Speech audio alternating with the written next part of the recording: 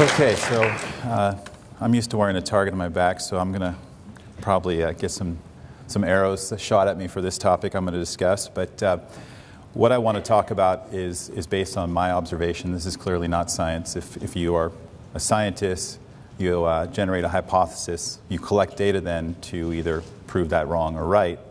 What I'm going to be doing is sharing the data that I've gathered by observing all these patients I've been treating for the last two years and trying then generate a hypothesis to explain what I've seen. That is not science. So this is opinion, what you're going to hear. Um, just so I qualify that, then later on in the discussion, I'm going to talk about the FDA and the recent advisory and try and pose some questions from a more scientific point of view to understand what may be going on, what we're, what we're dealing with, what we're up against. And obviously, we got the Canadian version uh, very nicely presented by, by Kirsty. And I really don't like following her in these. I've been in this position before. It is no fun following you speaking. I can just tell you that. You put me in a bad spot. All right. So let's see. So, so why, why have I chosen this topic of jugular dysautonomia? Well, first I kind of have to explain what is the autonomic nervous system. And the best way to understand it is it's the part of your nervous system that you don't think about. It just happens. These things are reflex actions. It's, it's the, the junction between the subconscious and the conscious. So, any activity that, that goes on during the, the course of your day that your body's going to do and you're not physically actively thinking about it, it's most likely an autonomic function. So, that includes things that we've heard so nicely about um, uh, in terms of the temperature regulation and the ability to go snorkeling, to be out in the sun. If you have this disorder, you can't do that. Your body has a thermostat that doesn't work. Part of it is the way the body cools itself is shunting blood back and forth the extremities. Part of it is perspiration and the ability to, to cool. Um, but that is a autonomic function, and in patients who have this, it's a dysfunction. But it also includes things that we don't typically think about, and and I can tell you that I didn't really recognize until very recently these types of symptoms which are present in, in patients that I see, and that's the cardiovascular aspect. Low blood pressure is very common with this. I only recently have come to that recognition. Uh, a common complication of the procedure, I shouldn't say common complication, a complication that we deal with with the procedure um, is what's called an SVT. It's a tachycardia and it occurs as soon as we inflate the balloon in the jugular vein. It's like instantaneous. You inflate that balloon, and that's when the SVT will occur. That is autonomic. So, things that I didn't recognize, I'm now coming to understand, and I can look back and reflect and say, okay, that makes sense. But these, these functions are things you don't think about, and for patients who have this, they're going wrong. They don't work. What is dysautonomia? Well, that is the term that describes when your autonomic nervous system is failing you. And it can be one symptom, okay? It can just be one individual symptom. Or it can be every one of them. And if it's every one of them, typically this is something that, that you see in children. They're born with this. They, they do not have the ability to regulate all these bodily functions. So, this is something that we see in many different disorders. It is not something unique to MS. This is much bigger than that. Okay? Um, it is something that primarily is, is governed by the vagus nerve, which is the nerve that communicates these signals. And in the brain itself, it's primarily a function of the hypothalamus. There is involvement in the brainstem, however, but those are the two big ones the vagus nerve and the hypothalamus. The things that we recognize in our patients that were going wrong, uh, actually, well over a year ago, when we actually started to screen our patients for these symptoms, are things that may sound familiar to you fatigue, disturbed sleep, brain fog, bowel and bladder issues. Those are the things that we identified our patients having, number one. And number two, when we did the treatment, those are the things that very consistently respond. Those all, as it turns out, are autonomic. So I myself have seen quite a number of patients with this, and this is, this is the thing that you, you take home when you see these patients. They have autonomic symptoms. Virtually all of them. I've only had a handful of patients who didn't have autonomic dysfunction symptoms, and those are the ones that I've kind of figured out hey, I really shouldn't be treating them because they're not going to respond, or It's going to be very unlikely that they're going to respond.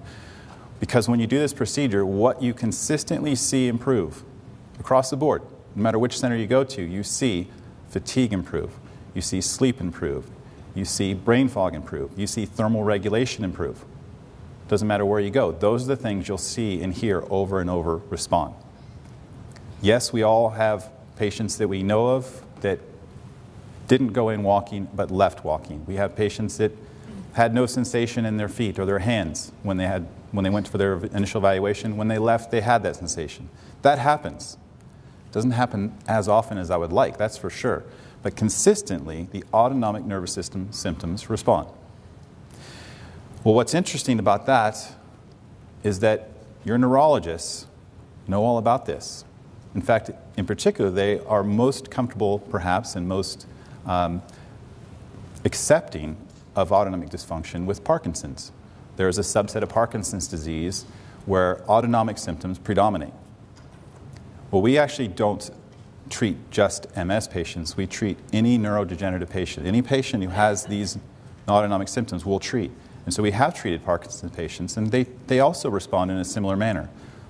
Not necessarily having the, the movement disorders respond, but clearly having the autonomic symptoms respond. That is what we're actually affecting when we do this procedure. There's actually studies out there, published studies, where neurologists, as you can see this quote from one of them, recognize the autonomic component to MS. This is a real part of MS, and it's a recognized part of MS by the neurologists. So I said that this was my opinion, and it, it is my opinion, but there are some interesting things out there that are available, even on the NIH website. That's in the US. Uh, I think it's very fairly equivalent to what you have here in Canada, but this is the official body when it comes to, to health and medicine. And I'm taking these from their website. They recognize that, first of all, the autonomic system is involved with neurodegenerative disorders, and they, they list actually Parkinson's as one. They also note that there is no cure for dysautonomia. There is actually no treatment per se for dysautonomia. If you do have a treatment, it is supportive and symptomatic in nature. It's not directly treating the problem. Going back to my opinion, I think we do have a treatment. So I'm of the opinion that that is what this procedure does. We are treating autonomic dysfunction. We need to prove this, we need to study this, but this could be the treatment for autonomic dysfunction, regardless of what disease it may be associated with. It's not just MS, is what I'm saying. It's a unique disorder, nervous system disorder, mind you, but it is one that we may have a new treatment that we kind of stumbled upon, really. We thought that we were treating a venous problem that was unique to MS patients, and, and perhaps that, that is true. I don't know that that's not true. But maybe this procedure does something far more. We're going to find out. People like you are going to make us find out. We're going to keep pushing. So, again, how this relates to this procedure. What is going on? How is it the veins are connected? Well, we certainly know that there's a theory about the vascular theory of MS. We, we clearly, I've been one that says that there's venous hypertension in, in the jugular and azygos veins has led to this disorder. And here I am saying that maybe that's not the case, even though I've been one of the biggest cheerleaders of it. Um, I'm not sure. But there's a couple things that at least go through my mind when I try and analyze what this is. So, first of all, could it be that there's venous compression from, an, from a jugular vein that has under too much pressure. Is that possible? Sure. That is possible. The only thing that would go against that is that typically when we do a, an evaluation with imaging, such as an MRV, what we see is that the jugular is collapsed. So that doesn't quite add up to me that if the jugular vein is collapsed in the patients who are symptomatic, that venous distension would compress the vagus nerve. Um, the other possibility is that venous hypertension, going back to that theory, is impacting the hypothalamus. Well, that could be. We know that there is venous hypertension present in these patients. We've measured it. The, pressure is elevated. Could that be causing some hypothalamic dysfunction, perhaps mediated through the CSF? Sure. That, that seems logical. We need to study that. But what if actually it was some intrinsic abnormality, some functional abnormality, something wrong with the vagus nerve itself? And when you do this procedure to balloon the vein, you're not really doing anything but squishing that vagus nerve, and the compression is somehow impacting it. Well, let's think about that. When we see our patients, the, the, key thing we're doing, at least I, I think different than, say, other venous angioplasty, is we're using an extremely high pressure balloon, the highest available. And the anatomy is such that the vagus nerve travels alongside the jugular, and it's ensheathed in this very sturdy structure, very dense fibrous tissue that's going to resist expansion. So if you inflate this high pressure balloon in this closed space, what's going to give? It's certainly not going to be the artery. The artery is a pretty tough structure. If anything is going to suffer the pressure, it's going to be the vagus nerve. Another data point that supports this is that we do see patients who don't respond to the ballooning treatment because they have compression in the upper jugular region, in the stylocervical uh, interval. That compression can be completely occlusive on the jugular vein. Those patients undergo decompression therapy, that space may open perhaps a millimeter. So if you have an 8 millimeter vessel and you increase the gap with which it passes to 1 millimeter, you're not going to cause a substantial change in the flow through it. Yet those patients respond. Well, we know from other venous compression disorders that nerve compression occurs along with the vein, and a millimeter difference on a 2 millimeter vagus nerve actually would be significant. So there are things that really fit with this vagus nerve as being the culprit. Here's a uh, picture from an intravascular ultrasound, and I don't have a pointer, but there we go. So this structure here, this dark structure, this is the jugular. Here's the carotid right next door, and this is the vagus nerve. So you can see, it's easy to imagine if you were to inflate this balloon inside the jugular vein, really distend it, it's obviously not distended here, and it's within this dense fibrous sheath, that vagus nerve is going to be compressed. So, looking back on our experience over the last year in particular, which is roughly a little over a year ago, we recognized these symptoms as being very consistent from patient to patient. We actually started to collect this information and wouldn't actually bring a patient into the clinic unless they had these symptoms. So, we've looked at this data, and, and again, th- these are things that are self reported, so this is not really hard science, but it's a start. This is a start. And what we found, as I mentioned, were this, was this subset fatigue, interrupted sleep, brain fog, headache upon awakening. That's, that's actually a really key one, in my opinion. Issues related to the bowel or the bladder, and cognitive impairment, otherwise known as brain fog. So, those are the things we asked every prospective patient. And we took that information and we distributed it out, and you see that these things are, are fairly common. And you can pretty reliably say if you have three of these symptoms that you're a good candidate for this procedure. So that's sort of the threshold. And the interesting thing is if you take these same patients who have these symptoms, immediately following the procedure, in a very short interval, within, within minutes to hours, basically once the sedation is worn off, you can see these changes. We do have patients traveling a great distance, so the actual perception of them may not be immediate because of the fact that travel is involved different time zones. So your energy level, your sleep may not respond immediately. We also use a lot of hydration, so urinary symptoms may not respond immediately. But the, in terms of the perception, but they're there. The effect is immediate. It is autonomic. But these are the things that very consistently, in fact, over 95% of the time, this is what happens. You do this procedure on a patient that has these symptoms, and over 95% of the time, they will respond. So this really points again to that something's going on specific to the autonomic nervous system. What's also nice is that these are consistent, they're maintained. They're, they're instantaneous effects that are maintained. Now, there are patients who relapse, and that's the part that I'm sort of struggling with. And, and I'll talk a little bit more about the venous anatomy and how it seems to correlate with relapse. But that's the one part about the autonomic dysfunction that I just I can't get a handle on. Um, already talked about that. Well, the other point I will make is that when patients do respond, if you, if you go a good solid six months without a relapse, it doesn't look like you do. I mean, I've had patients now that I've treated over two years that are maintaining the benefit. That's a pretty long time.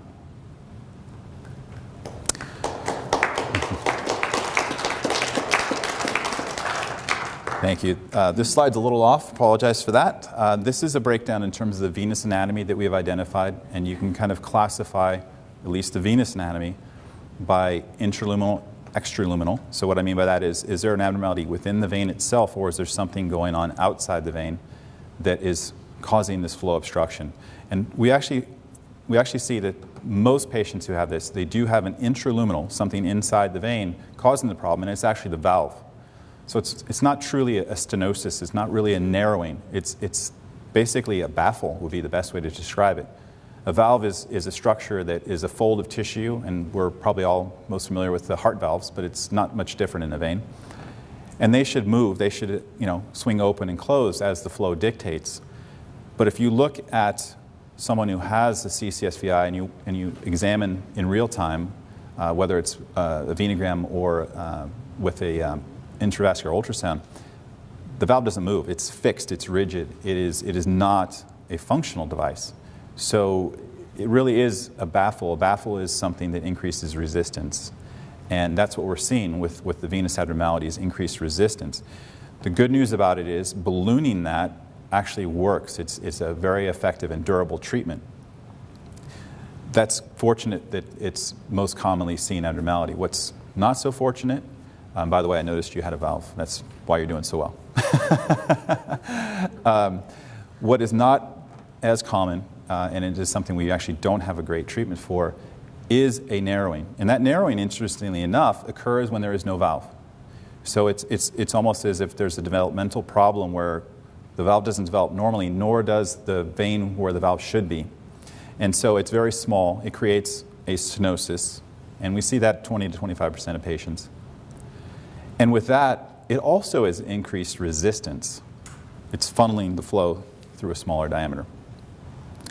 That involves balloon angioplasty, venous angioplasty, and that's not nearly as good a treatment in terms of its durability and effectiveness. Uh, excuse me, durability, not effectiveness, Uh, at least in our experience, relative to the valvular treatment. And then the, the, the least likely disorder that we see from a venographic point of view is compression, so externally squeezing that vein. That is something that is certainly less than 5% of patients. The good news is, is if you have it, there are treatments, not necessarily within the vein itself. So we are referring our patients who have this for postural therapy, basically. Opening the space with which the vein passes rather than trying to do something to the vein itself because it is an extrinsic, an external abnormality. And looks like my video is not going to load. All right. We'll skip that. Okay, so um, this is just an intravascular ultrasound depicting what I described with this white boundary here and here representing the valve. And, and if you saw the video, you would see that doesn't move. And that should move. That's the valve leaflet itself. It should be going like this, and it doesn't. As I mentioned, when, when you have this particular anatomy, it tends to respond very favorably as far as durability. In other words, you have this procedure done once and you have a fantastic result that doesn't fade. So if you have this, if you have CCSVI, you really want to have valves. It seems to make a difference. Stenosis, on the other hand, we rely on venous angioplasty. And interestingly enough, the results you get with venous angioplasty in CCSVI for a stenotic vein is just what you get if you have an iliac vein that's stenosed, a femoral vein, or any other vein in the body. Venous angioplasty, we know, has a two month patency of approximately 50%. Doesn't matter which vein it is. Despite what the health minister of uh, Alberta saying about venous angioplasty, it actually is quite common. We've been doing it for a long time, and it is safe. And it is effective. I mean, 50% patency at two months, while we would certainly like better, that's acceptable in many conditions. So someone needs to address that in Alberta. Um, here's a picture of, of a narrow vein, and you can see that on your left, and on the right, you can see the narrow vein after a balloon has been inflated. So it does work. You can fix a narrow vein. Admittedly, just venous angioplasty itself is not the best treatment, um, but if you're suffering from this, I think, I think it's fair to say that it's not unreasonable to undergo a procedure that works half the time when you have pretty significant disability. All right, so um, the only thing I'll comment about on this slide is, is that if you are a vascular specialist and you do venous angioplasty, your, your threshold for placing a stent is quite low. In fact, prior to doing CCSVI, I really didn't do venous angioplasty anymore. I stented veins because elsewhere in the body, venous stents have an outstanding patency. In fact, in some respects, venous stents have better patency than arteries. And there's literature to support this. So the idea that you would stent a jugular vein when you do an angioplasty and it doesn't, doesn't respond as well as you'd like is, is not a significant deviation from your traditional practice. In fact, that would be pretty standard. But what we see actually in the jugular vein is stents don't really work so well, and it's because they clot. I think that's more a reflection of the physiology of jugular venous flow than it is that the stents don't work in that vessel. The fact that is, is that when you are in the supine position, you have maximal flow in your jugular, and so if you have a thrombotic device like a stent, and you're laying down all the time, I, I think the results will be fantastic. We tend to live upright though. So we're either sitting or standing for the majority of the day, and your flow actually in your jugulars can go to zero in that position. Typically it's just diminished, but it can be zero. And if you have a stent in any vessel with no flow, it's going to have a hard time not clotting. So it's more a function of the unique physiology of a jugular vein than it is the stent themselves, but at this point, I don't think the stents are something that we should be using. Um, there's an exception to that, and that is if you have a venous occlusion, the only way it's going to stay open with any chance is a stent. So I, I do still stent an occlusion, but fortunately, occlusions are, are not a, a common problem. All right, so here's a graphical representation of what that compression is. This is uh, an image from a CT scan, and this white structure here is the first cervical vertebrae. I don't know if you can appreciate the sort of stippled white structure here that is sort of a flattened oval. That's actually a stent. So this is one of my very early cases.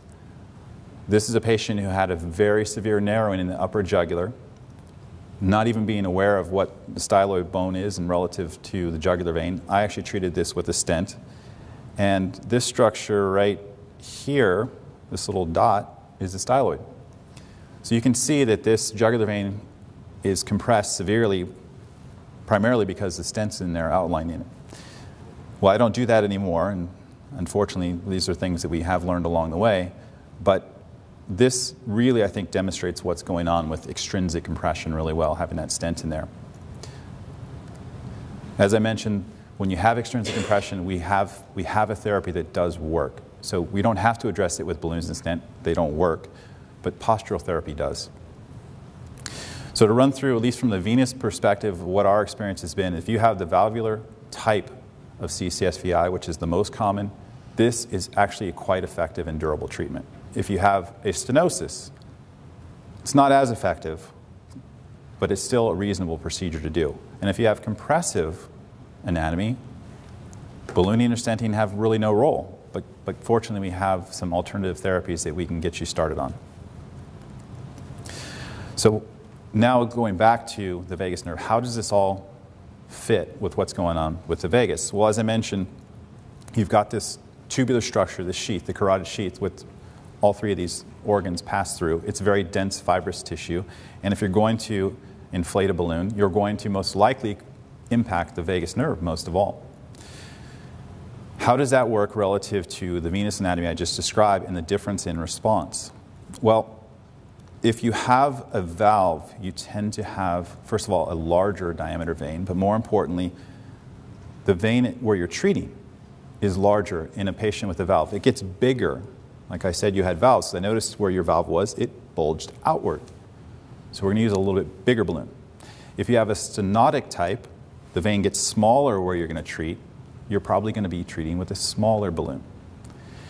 So that subtype will be treated with different sized balloons, and therefore the potential to compress that vagus nerve is going to be different with the two different anatomies.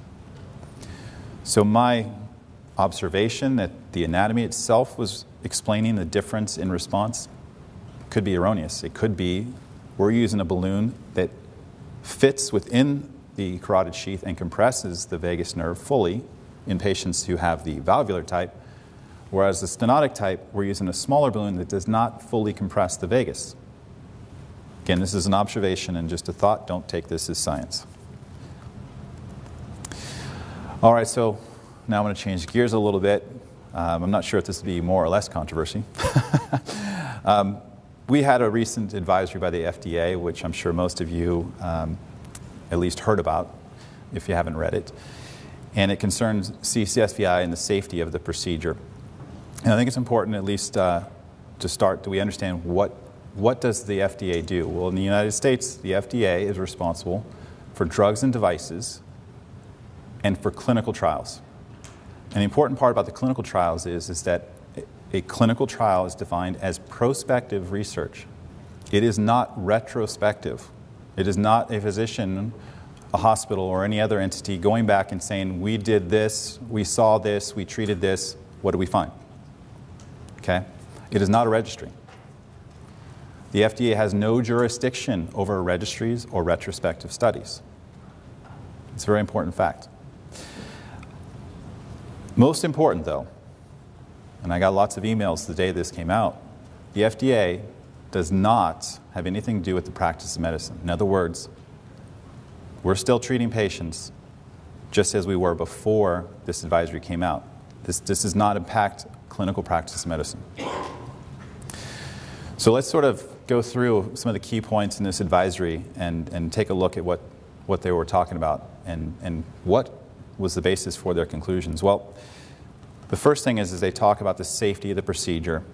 Um, and, and to sort of introduce that topic, they want to, first of all, talk about CCSVI and its relation to MS. And clearly, it was a lot about MS in the advisory. But what they point out is that there is no direct evidence to link MS and CCSVI. Absolutely agree with that. There, there's just not, we cannot conclusively say that. So I have no quarrel with the FDA making that statement. It sort of falls apart from there. Venous stenosis may be seen as normal variants and can be seen in healthy patients. That's the FDA's official US government statement of fact. I have no idea where they came to that conclusion. What is the basis for that? I don't know. The safety and efficacy of using balloon angioplasty in the internal jugular veins has not been established. Partly true. Okay, the efficacy has not been established. However, an important point, which many people are not aware of, is balloons are class two. So you actually can get approval by the FDA for the use of a balloon in any particular structure you want, whatever organ it is, just by doing a safety study. You do not have to demonstrate efficacy. So actually, this should be pretty easy to do. We should be able to demonstrate safety of ballooning the jugular veins, unless there's things going on beyond our awareness or control. Okay, so looking at the scientific evidence of treating internal jugular veins, or azygos veins in MS patients, do you improve their quality of life? Actually, that's one thing we are starting to get data we are seeing quality of life improved. Did they not see that? Probably not. If you place a stent in a narrow vein, it is something that could cause a problem down the road, worsening the narrowing. That's interesting. I've been stenting veins for over a decade. That's the first I've heard of this. We look at the serious complications that occur with the CCSVI procedure, and, and, we know that you can have serious complications. I've had a patient I treated die, so I know that serious things can happen. And you know, I still feel terrible, terrible about that fact. It can happen, but fortunately, it's pretty uncommon. So, for a, government body to issue such a broad, strong statement about the safety based on anecdotal evidence when there are three published safety studies showing it's safe. I certainly don't have any quarrel with the FDA saying this can happen. Yes, when a, when a death happens, you need to take pause and say, does this make sense for me? So I have no problem with them saying that. But to then label this a high risk procedure? Really? Okay. They go on to talk about when considering this treatment, you need to consider the risks and benefits, and they, absolutely that's true. But they want you to go over it with a neurologist who is familiar with MS and CCSVI. My understanding is the only one just retired. So, where are you going to go for help? And again, we go to the same sort of topic where they're basically asking us to discuss this with a neurologist. I really don't know many, radi- or excuse me, many neurologists that receive training in venous disorders who have any experience with venous disorders. So, why would the federal government warn prospective patients to seek expertise from individuals that don't have it? It's interesting. All right, well, let's address, at least from my experience, what we have seen with safety. Fortunately, major complications actually are very unusual, and our results parallel the published studies out there lending credence to the fact that you know this this could be a very safe procedure as long as it's done right, and if we have if we have trials that can show its efficacy, we may actually be onto something that helps people. We all know examples where people have been helped anecdotally. Let's let's show this scientifically. From our experience, what we see is that during the procedure itself, the biggest uh, event that will occur during the procedure are those related to the cardiovascular system, changes in blood pressure, or the SVTs. Fortunately, the SVTs um, tend to be asymptomatic. I've had one patient that actually had some symptoms. But these are things that, that we're equipped to deal with, and most centers who do this are obviously equipped to deal with changes in hemodynamics. So they, they are something that we can deal with procedurally. I had a patient have a small stroke after the procedure, and the only way I can explain this is what's called a paradoxical embolus. How you can have an arterial stroke with a venous procedure doesn't make sense any other way, but shunting of a clot from the right side to the left side, and that occurs with congenital heart defects. We now screen patients to make sure that they don't have a congenital heart defect that could predispose them to this. Periprocedural bleeding is something that occurs. It occurs with any venous procedure. We are recommending full anticoagulation with our patients. So, patients, so of course, there is going to be increased risk associated with that. We do see that clotting occurs within patients who undergo this procedure. And in fact, if you didn't use a blood thinner, if you didn't use anticoagulation, it would be the most likely adverse event. And then there is this issue of occlusions, which we do encounter. And it's my belief that the occlusions are largely due to clots. So we address the occlusion issue with full anticoagulation. So, as I mentioned, when you undergo this procedure, the biggest risk you face as far as the likelihood of an adverse event, it is clotting.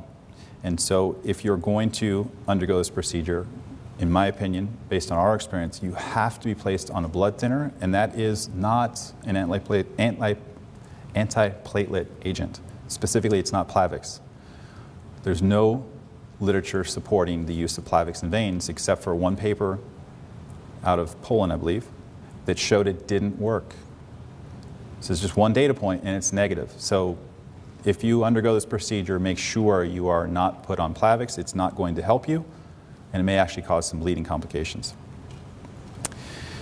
Anticoagulation with what we use is a factor 10 inhibitor uh, is the easiest to administer, the most well tolerated, and the most effective from our own experience and looking at the literature. And we fully anticoagulated uh, approximately 1,500 patients. So, you know, we've done this with a lot of patients and seen what, what happens, at least in our experience. And that is, if you take a patient who has not had the procedure done, if you take a patient who has not had a complication such as an occlusion that, you know, I have to do these sort of elaborate things to fix, when you put them on a factor 10 inhibitor, they don't clot. So it is effective at preventing patients from clotting after undergoing this procedure we have seen two significant bleeds. So it, it does occur. You can have a significant hemorrhage with this medication, but it is uncommon. And in fact, if you look at the published literature, sorry for the change in slide color, uh, our, our results are pretty much are in line with what you see with other factor 10 studies, and that is somewhere in the neighborhood of uh, 0.1% major bleeding complications. So it's certainly an accepted amount, and it's in, light, it's in line with what the published studies have shown. I mentioned to you that unfortunately I did lose one of my patients who underwent this, and as part of that process of dealing with that and figuring out what happened, we recognized that the risk factors play a big role in this, and so that's one of the things we've changed our practice. We're very aggressive with monitoring blood pressure. That was one of the issues. This patient, unfortunately, had a increase in blood pressure, and again, I mentioned to you one of the things associated with the autonomic nervous system is control of heart rate and blood pressure, and this patient had a rise that occurred on a pre-existing high blood pressure, and it was something that as a physician, I was not notified, and the patient unfortunately was discharged from the facility. They had a subdural hematoma, and high blood pressure can lead to that. So we have modified our approach to minimize this risk. It is still there, but by careful screening, we hope to minimize it as best we can. We've identified age, renal impairment, and high blood pressure as risks. So those are the things that we're going to check.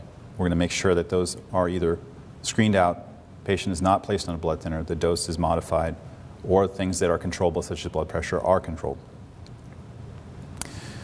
So that's been our experience with complications, and it again is in line with what is out there with the three studies that are published, and these numbers are acceptable if you, if you look at any procedure that you undergo on a routine basis. And where I come from, a very common one is liposuction. This has a lower mortality rate than liposuction. I don't know if it's as common here, but it certainly is where I come from. So I'd like to summarize in basically talking about dysautonomia. It is a distinct disorder that crosses all the neurodegenerative disorders. It is something that we see, it is well accepted, it has been around for a long time. Autonomic dysfunction has been studied for several decades.